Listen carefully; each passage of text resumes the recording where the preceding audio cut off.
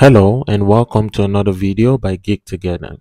Today we'll be picking up or continuing from the part 1 of our CrowdSec Nginx Proxy Manager setup. And for this part 2, I'll be showing you guys how to set up a CrowdSec multi-server installation. So our example here, we have our Nginx Proxy Manager, which is running our OpenResty bouncer and is going to be our main firewall bouncer for CrowdSec in our environment. Our Nginx Proxy Manager is a reverse proxy for three of our web servers, which is Guacamole, Nextcloud, and WordPress. And these web servers are only running CrowdSec as an agent or in agent mode which means they only pass the logs and detect malicious attempts, but they are not performing any blocking. And then we have a local API server, which is the central local API server that hosts the database of the malicious block list and it stores the data that is received from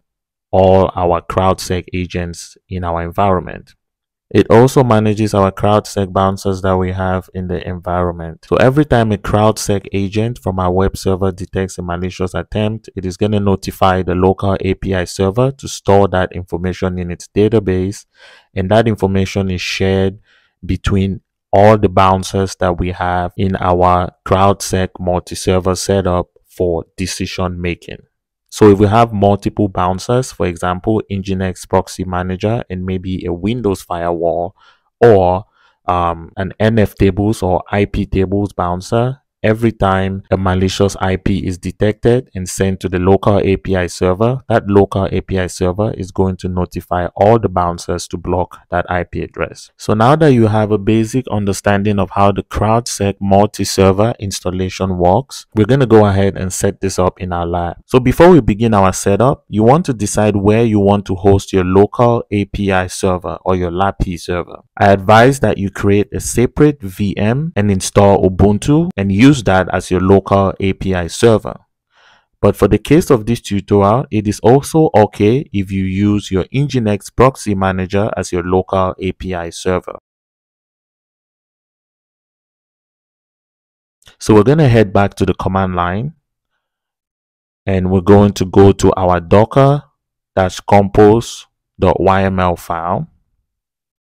So we're going to use nano and we'll open up that file. Notice in this file, I have completely removed the CrowdSec configuration we had for the part one of this video. So you want to also remove that CrowdSec configuration and you want to also disable port 8080 for your Nginx proxy manager. So you want to remove the part that we had for port 8080. So once you have all that, you also want to remove the CrowdSec directory that was also created as part of our part 1 install.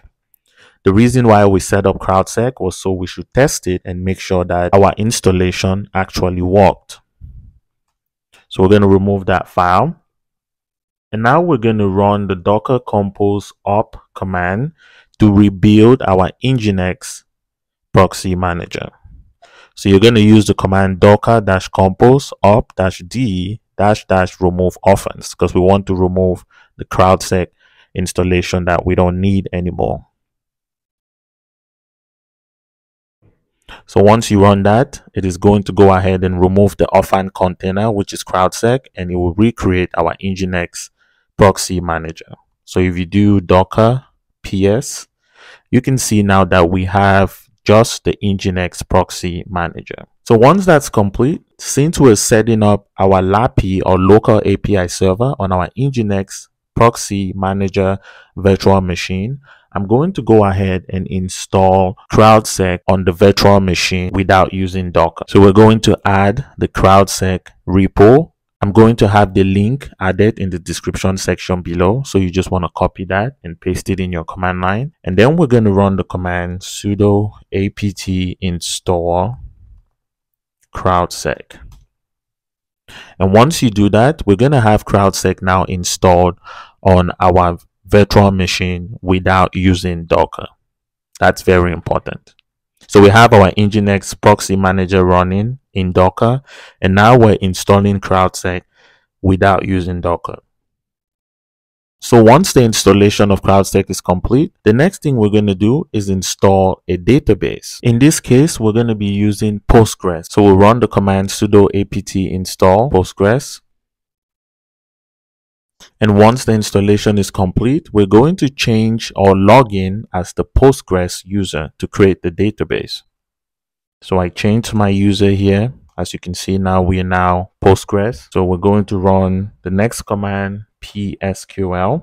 And now we'll start by creating our CrowdSec database. So we'll run the command create database CrowdSec and you should get a response that says create database. That means the database was successfully created. And then we're going to run the next command to create a user called CrowdSec and set a password. So we use the command create user CrowdSec with password.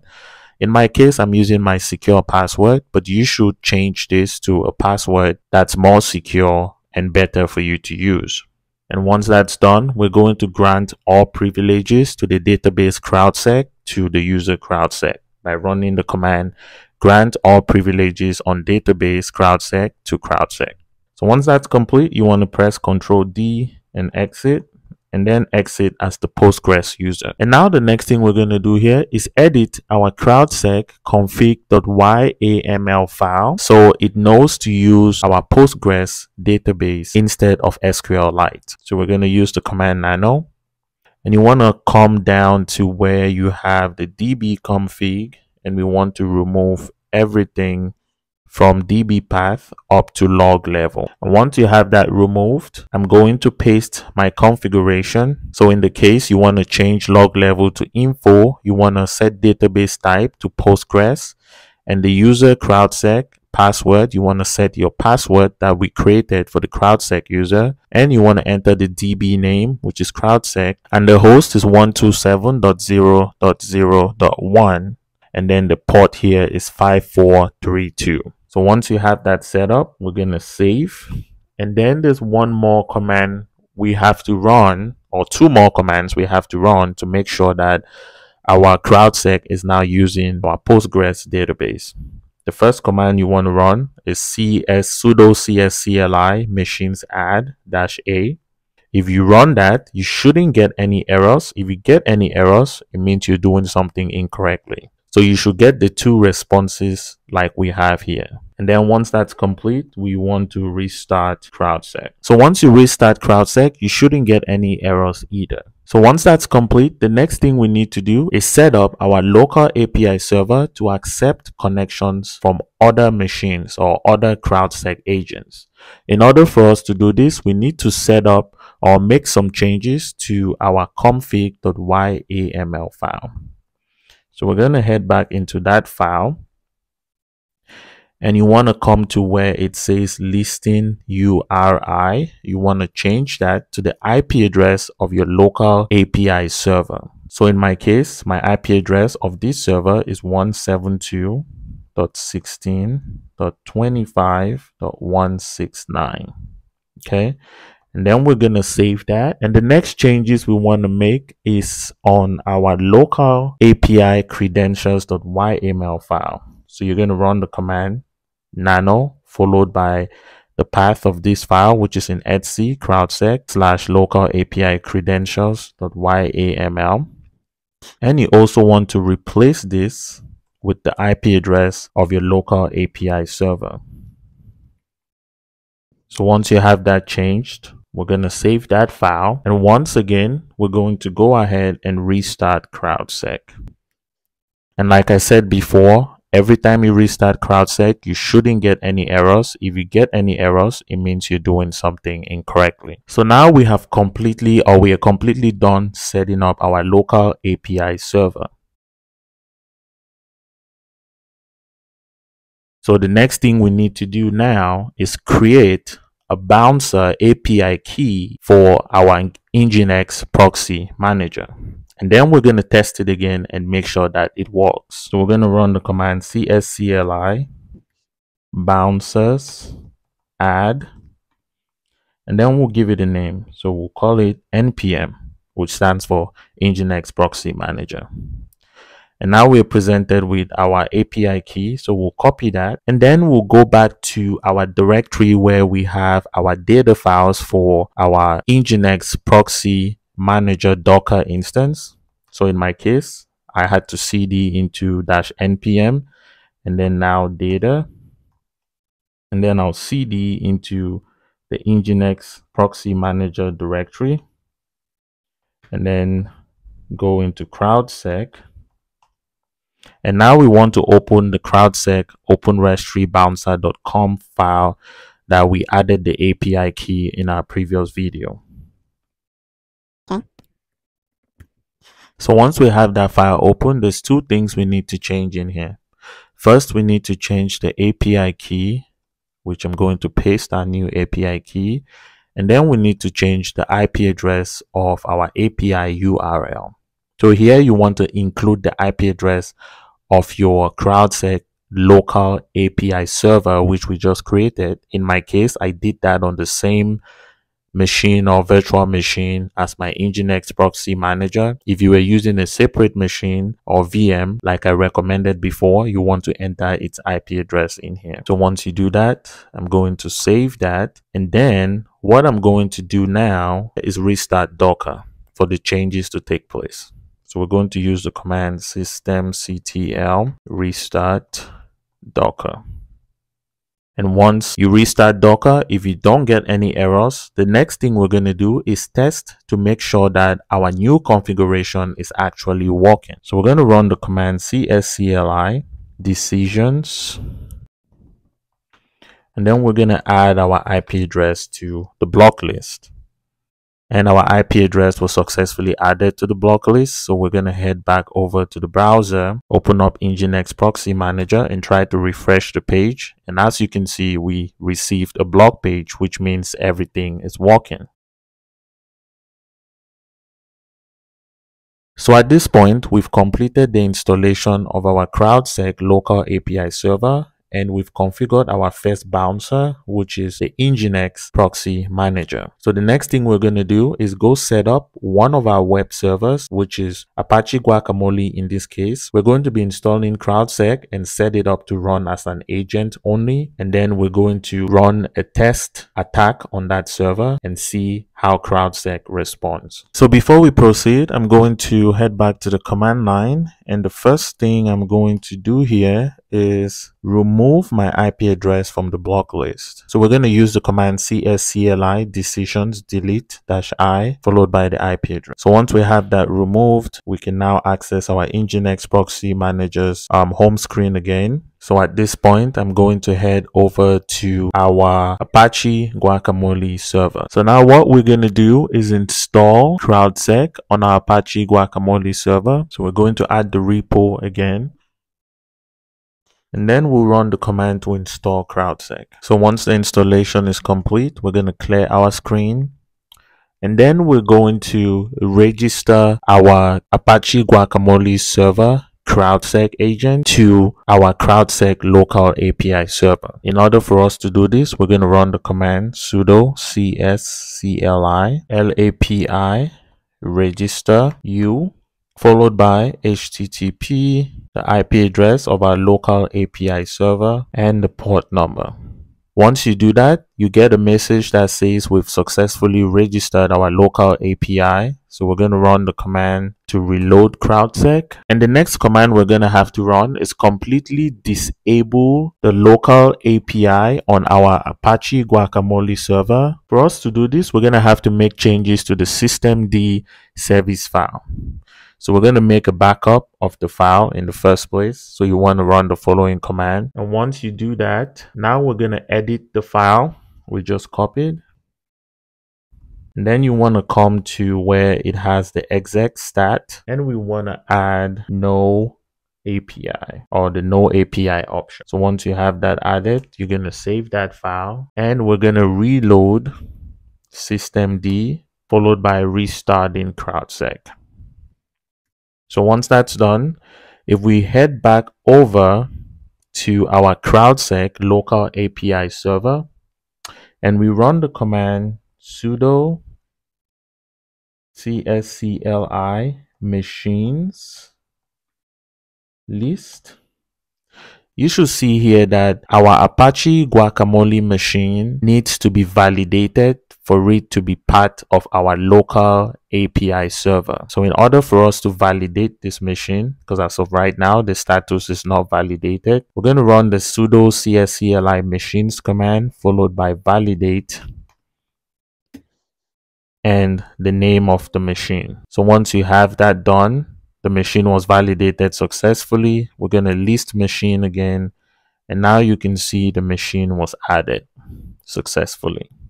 So now that we've validated our Apache Guacamole server to communicate with our local API server. So to test it and make sure it works, we're going to head back over to our Apache Guacamole machine and we're going to do the cscli decisions command to add my IP address to the block list. So once we do that, if we head back over to the local API server and we run the cscli decisions list command, we see that the IP address was successfully added to the block list and the ban or the IP address was added from our Apache Guacamole machine.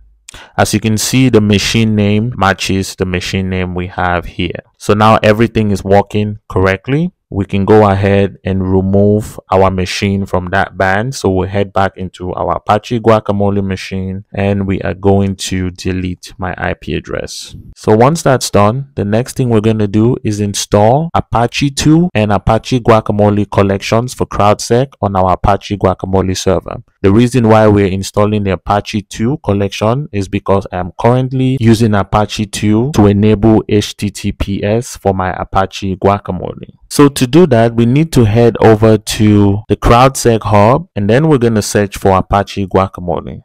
So right here at the top, we have Apache Guacamole and Apache 2 collection. I'm going to start by installing Apache 2. So I'm just going to copy this, head back to the terminal and I will install that. So once that's done, I'm going to go back and I will use Apache Guacamole, copy the command, and I will install the Apache Guacamole collections as well. So I'm going to reload CrowdSec. And once that's done, we want to head over to the etc slash CrowdSec directory to make sure that we set up our acquisition file to be able to read our Apache 2 logs and our Guacamole logs to monitor for malicious logon attempts or malicious traffic in the case of Apache 2. So I'm going to cd to etc CrowdSec and you want to use nano to open the acquis.yml. So once you open up this file, if we head back over to the hub, let's say we go over to Apache 2 you can see here that we have a configuration that we need to set up for our acquisition file to be able to read our Apache 2 log. So I'm going to copy this. Now paste this into this file. Once you have that pasted, if your Apache 2 logs are in a different directory, you want to make sure um, you replace the directory to point to where you have your Apache 2 log. But my logs in this case are located in the var log Apache 2 log directory. So I'm going to go ahead and remove for HTTPD because I'm running Ubuntu. So they're stored in Apache 2 folder. So once that's done, I will save the file. And once you have the file saved, you want to restart CrowdSec. So we'll run the command systemctl restart CrowdSec. And now that that's complete, we're going to head over to a Kali Linux machine and try to conduct some attacks on our Apache Guacamole server. Once you've restarted CrowdSec and you don't get any errors, you want to head over to your Nginx proxy manager. And at this point, you want to make sure you've set up your host so that they can be accessed externally. So in my case, I have two web servers. I have uh, geektogether.com and I have remote.geektogether.com exposed to the internet using Nginx proxy manager. So once you have all that set up and you've made sure that you've port forwarded port 443 to um, your Nginx proxy manager on your router, the next thing we're going to do is head over to a Kali Linux machine and we're going to test and make sure that our CrowdSec is actually working. So we're going to open a new browser and in this new browser, I'm going to open up our Apache Guacamole server. Now you can see we can externally access our Apache Guacamole server and we can also access geektogether.com. And if you see, I have a VPN running because I don't want CrowdSec to block my internal or my external IP address. So we're going to head back over to the Apache Guacamole server and we're going to enter a username and a password incorrectly multiple times. So if we keep doing that, as you can see, we get we get an error message. If we refresh the page, we see that we are blocked. And if we head back over to our other web server here, and refresh the page, we are also blocked from accessing this page as well. So since we tested that and it worked, the next thing we can do is head back over to um, our VPN client here and we're going to change our IP address to be a different IP address. So if I change my IP address and I head back over to Apache Guacamole and refresh the page, you can see we can access our Apache Guacamole server again. And if we try one more time to enter a username and password incorrectly multiple times again, you can see that we still get blocked. So if we refresh the page, we still get the access forbidden block page. Your blog page may look a little bit different from mine. I have mine customized. That's why it looks like this. So at this point, if we head back over to the command line and we check our decisions list, you can see that our three brute force attempts that we conducted were um, found and blocked based on the reason of the Apache 2 uh, collection we installed, which includes the HTTP generic 403 brute force um, sensor. So if you do not have Apache 2 set with your Apache Guacamole and you're just running Tomcat, what you might want to do as part of this is go back to the hub and we want to head over to the Apache Guacamole configuration and you want to follow the configuration instructions here to set up your Apache Guacamole to log or to send its logs to a log file so that you can add that to your CrowdSec acquisition file. That's probably going to be a separate video. I just wanted us to test and make sure that our multi-server setup for CrowdSec works. So if you followed until now in the video, you've noticed that we've only configured one of our web servers. Because I don't want to make this video too long, you're just going to have to follow the same instructions I did to install the agent on Apache Guacamole and you can do the same for Nextcloud and WordPress servers. So if we go back to the um, CrowdSec hub here, if you come into collections, you can search for Nextcloud and you'll find a Nextcloud collection as well. They also have a collection for WordPress. If you're running another application such as Authelia, you can check in the CrowdSec hub to see if they already have a collection for it, or you can create your own collection if you really wanted to. So this brings us to the end of this video. I hope this video helped you configure your CrowdSec multi-server environment to work with your Nginx proxy manager. Please, if you enjoyed the video, do not forget to like the video and also subscribe to the channel.